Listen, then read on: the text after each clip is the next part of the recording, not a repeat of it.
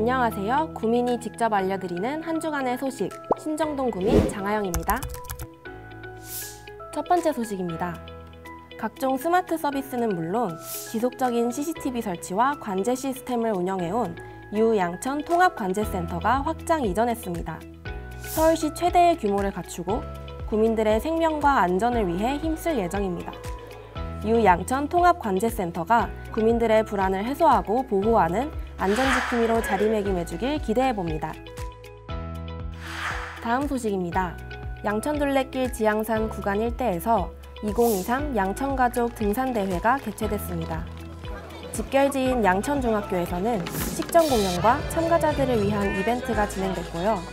좋아요. 너무 좋죠. 네, 이런 대회가 양천구에 있다는 게 저는 너무 좋아요.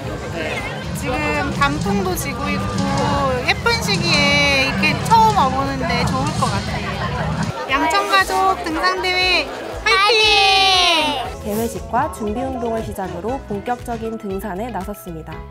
알록달록 물든 단풍 사이를 걸으며 가을산의 정취를 만끽할 수 있었는데요. 코스 중간에도 공연이 준비되어 있어 예술이 더해진 낭만 있는 가을 산행이 되었습니다.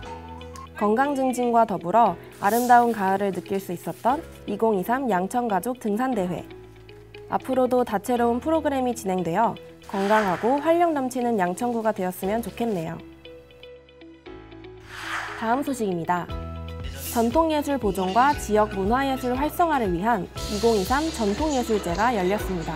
국악, 한국무용단의 공연을 비롯해 국립무용단 초청 공연과 시타대 행진까지 우리 결의 얼과 혼이 담긴 무대가 이어졌는데요. 가을 정치와 함께 문화적 향취를 가득 느낄 수 있었습니다. 더불어 구민들과 지역에서 활동하는 예술인들이 가까이 마주하는 의미 있는 시간이 되었는데요. 앞으로도 우리의 예술이 오래도록 사랑받고 우리 지역에서도 다양한 전통예술 공연을 꾸준히 만날 수 있길 바라봅니다. 오늘 준비한 소식은 여기까지입니다. 다음 주에도 양천의 다양한 소식으로 찾아올게요.